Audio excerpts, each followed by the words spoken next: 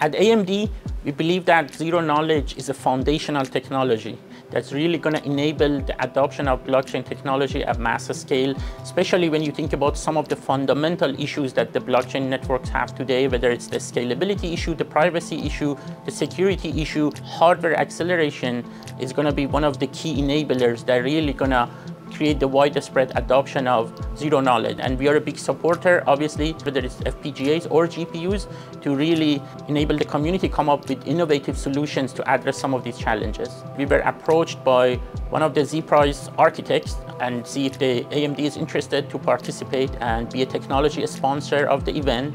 We provided our FPGA accelerator card to be used in some of the competitive tracks and um, the results com coming out of the 22 competition is, is, very encouraging and we are looking forward to continuing our uh, cooperations with, with ZPrize in the future. ZPrize is a community-driven initiative to kind of foster development and research in ZK.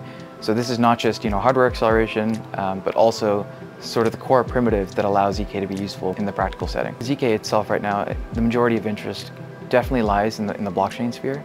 So this is protocols that want to leverage ZK for its trustlessness properties or for its privacy properties. But I do actually see opportunities for ZK to be kind of prevalent outside that atmosphere. Maybe in critical infrastructure, um, we're building applications that really, really require um, you know, less trust in the people that you're interacting with. Like any other sort of new technology, I think ZK um, you know, is growing quite rapidly but the level and kind of breadth of skill sets that are needed within this space are, are kind of mind-boggling.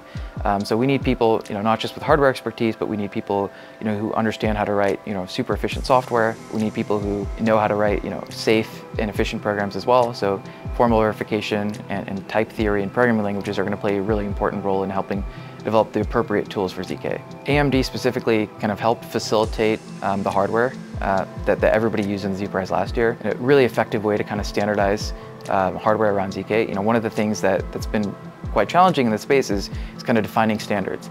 And AMD has played an incredible role in, in kind of making sure that these things are available to a broad set of players.